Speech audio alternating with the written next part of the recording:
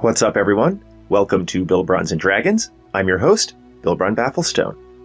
So today we're having another episode of my deep dive series. Today looking at the spell Immovable Object. This is a second level Graviturgist spell. And to be quite frank, I'm not that impressed with the Graviturgist subclass. It uh, has pretty unimpressive subclass abilities in my opinion, and the specialty spells that they get are largely unimpressive to me.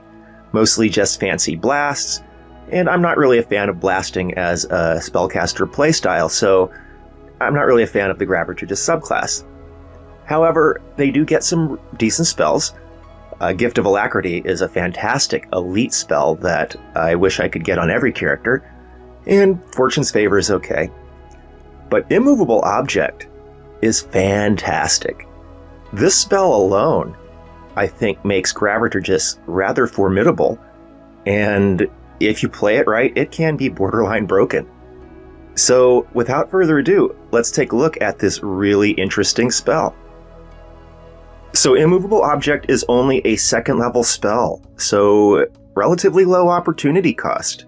You get this spell pretty quickly, and there's not a ton of amazing spells that compete with it. Now, it is difficult to acquire. It's only available to Graviturgists and to bards through magical secrets. Although I will say that the Explorer's Guide to Wildemount does specifically state that the DMs can choose to add these spells to other spell lists, so it's at their discretion, you can always ask. And I first want to point out that the spell does have some very interesting non combat uses. For example, you can use it to create a hovering castle, or floating stairs, or things like that. You just upcast the spell and create permanently immovable sheets or some such, and then you can build your castle right over the top of it. And this spell can essentially replace the ever popular immovable rod magic item. That's one that I've never been a huge fan of, but I know it's got a cult following, and so if you like to use immovable rods to, you know, get up to some shenanigans, you can pretty much do the same thing with immovable object. However, during combat, I'm compelled to point out that immovable object is a no concentration, one hour duration spell. Those types of spells are gold in combat.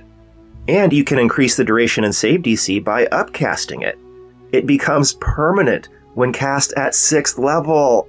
Oh my goodness, that is really good. Plus, if it's upcasted high enough, you can make it literally impossible for a lot of creatures to pass the save DC. Additionally, with such a long duration, you can rest trick it, especially when you're upcasting for that increased duration, and that can be amazing. See my deep dive series video on rest tricking for more info about how that can work. Now, the most amazing thing about Immovable Object is that it can target wielded or worn objects with no saving throw, and rules as written, that includes those wielded or worn by your enemies. Getting a no save control option as only a second level spell is amazeballs. Now, there is a 10 pound limit on the objects you can affect, so that's going to have to be managed. But it still has amazing synergy with targeting enemy clothes. If you can get their garments, they are pretty much screwed. Now, I will say that the condition imparted by this is unspecified, so it's going to be up to your DM. But it's at the very least grappled so that it can't move. And frankly, in my opinion, you should be able to get restrained out of it. And restrained is an amazing condition to impart to enemies, especially with no save. Now, it's also interesting to target enemy weapons in some cases if they've got a really great weapon and not much in terms of a natural weapon attack.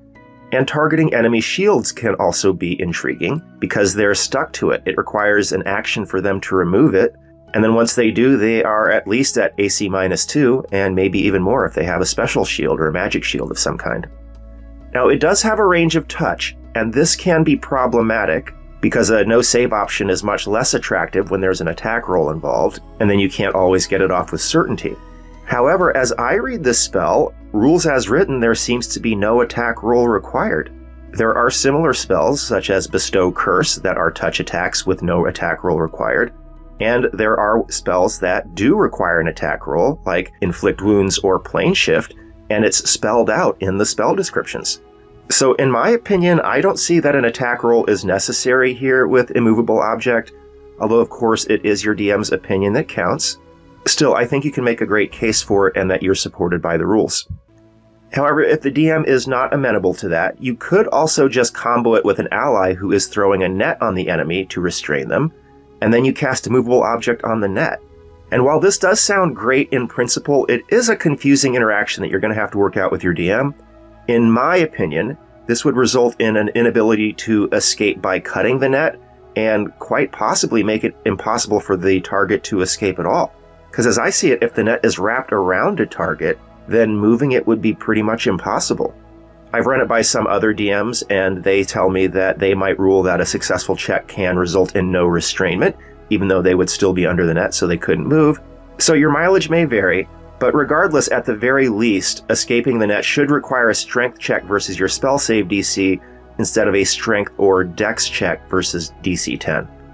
And for a crazy good combo, consider that the caster can also acquire Distance Spell, which, when applied to spells with a range of touch, confers a range of 30 feet, and now the caster can inflict a ranged no save control option. That is sneaky elite, especially for only a second level spell. Now, the last way that you can use immovable object that I think can be pretty cool is that rules as written, it does seem to create a sort of de facto fly plus hover speed as users can choose to move it. Now, this is up to interpretation, but when I see the word can in a spell description, that indicates to me that the user of it has the option and is can be pretty flexible with those options. So in theory, you could cast it on your pants or your boots, and now you can use it to walk up a sort of invisible staircase at will, not to mention also being immune to forced movement. Now again, your DM has to buy in. It does seem a tad awkward in my opinion, I don't think it should necessarily work on pants because then you would have trouble selecting which leg, I think. And boots are more workable, even though they are still kind of awkward and could be just asking for an ACL surgery in some cases. But do note that boots are technically two objects, even though some DMs will consider them one. But that said, if you really want to pull it off, you could just cast it twice, and it's not really an issue if it's permanent through a 6th level cast right? You could just do the boots and the pants and the gloves. And so that's where I think this spell really starts to shine is when you can get it at uh, cast it at sixth level and get it permanent. So while I am a little bit skeptical of this application of immovable object, I have made an informal survey of DMs and it seems like most of them are pretty receptive. A lot of them are going by the rule of cool and they think it sounds like a cool idea, so would allow it. So ask your DM and I'm sure your DM will explain to you how it works at his table. So that's it. That's my take on Immovable Object, a surprisingly strong spell available to Graviturgists, which are normally a surprisingly weak subclass for wizards. But it's flavorful, and I can see wanting to play one just to try it out. And if you do, man, Immovable Object is a spell that impresses me. So you do have to talk to your DM about how it works exactly, but I think most DMs are going to be pretty receptive to it. You know, otherwise they'll just never see a movable object cast at their table, right? So regardless, let me know what you think in the comments below, and thank you so much for watching. This has been Bilbrons and Dragons. I'm your host, Bilbron Bafflestone. See you next time.